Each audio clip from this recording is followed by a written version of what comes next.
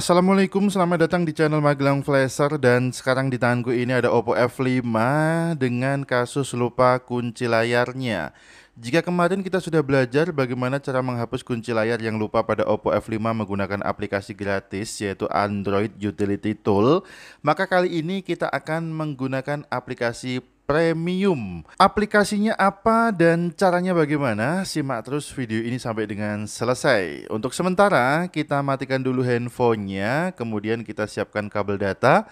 Langsung aja kabel datanya kita colokkan ke komputer, kemudian kita akan bergabung dengan tampilan Windows kita.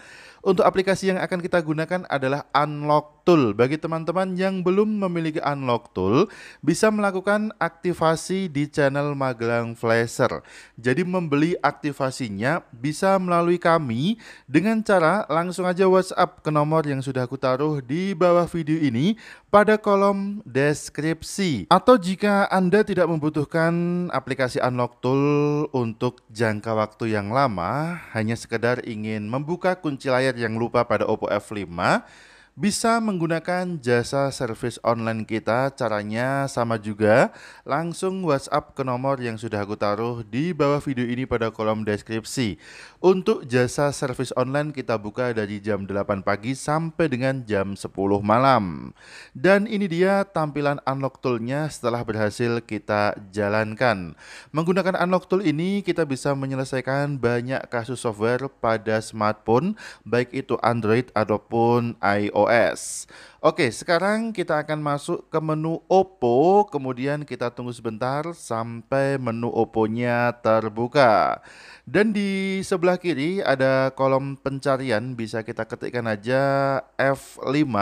Pada kolom pencarian tersebut akan muncul tiga hasil untuk F5 ataupun F5 Youth. Kita pilih yang ada opsi metanya. Jadi untuk yang ada opsi meta di sini ada pada nomor 2. Langsung aja kita pilih Oppo F5 atau Oppo F5 Youth yang ada opsi metanya.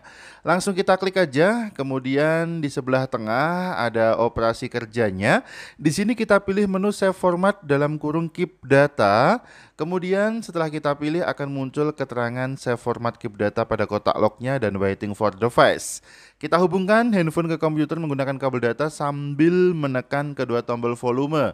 Jadi volume atas dan volume bawah kita tekan dan tahan. Sambil menekan dan menahan kedua tombol volume, kita hubungkan handphone ke komputer menggunakan kabel data. Ketika handphone sudah terbaca oleh unlock tool, bisa kita lepaskan menekan kedua tombol volume dan kita tunggu sebentar sampai handphone ini masuk ke meta mode.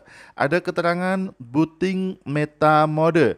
Kita tunggu sampai handphone menyala, kemudian muncul logo Oppo dan di pojok kiri bawah layarnya ada keterangan meta mode. Kita tunggu sebentar sampai proses format datanya selesai. Kalau sudah selesai ada keterangan seperti ini, rebooting device oke, OK, kemudian handphone akan restart. Selanjutnya akan menyala lagi di tampilan logo Oppo dengan tulisan recovery mode pada pojok kiri bawah layarnya. Kita tunggu aja sampai handphone ini masuk ke recovery mode dan melakukan proses wiping data secara otomatis. Kita tunggu proses loadingnya memang sedikit memakan waktu ya. Tetap sabar aja dan ini dia muncul tampilan proses wiping datanya. Setelah selesai maka handphone akan otomatis restart lagi. Yang selanjutnya akan melakukan proses loading. Kali ini durasinya lumayan lama. Jadi bisa kita letakkan handphonenya dan kita tunggu sampai proses loading loadingnya selesai. Jadi metode format data dengan uh, unlock tool kita memilih menu save format keep data seperti yang kita lakukan tadi. Memang beberapa data bisa kita selamatkan. Namun hanya data yang berbentuk foto dan video saja. Sementara itu untuk aplikasi kontak catatan tentu saja tetap akan hilang. Oke ini dia untuk proses loadingnya sudah selesai. Handphone langsung masuk ke tampilan pilih bahasa.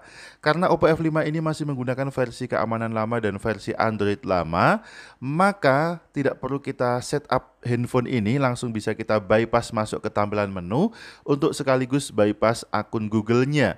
Caranya bagaimana? Langsung aja kita pilih menu panggilan darurat. Kemudian kita ketikkan bintang pagar 813 pagar dan kita tunggu sampai handphone ini masuk ke tampilan menu. Sekarang handphone ini sudah berhasil kita hapus kunci layarnya. Tentu saja langsung kita buktikan apakah foto dan videonya tetap aman atau terhapus dan hasilnya seperti ini. Jadi file yang berupa foto dan video di memori internal handphone ini tidak terhapus. Dan ini adalah file foto dan video yang berada di memori internal bukan memori eksternal karena handphone ini tidak terpasang micro SD. Oke terima kasih sudah menyimak video ini mudah-mudahan bermanfaat. Sampai jumpa di video selanjutnya dari channel Mag Magelang Flasher. Ingat tetap jaga harga servisan dan akhir kata dari kami. Wassalamualaikum tentu saja mantap jiwa jadi nota.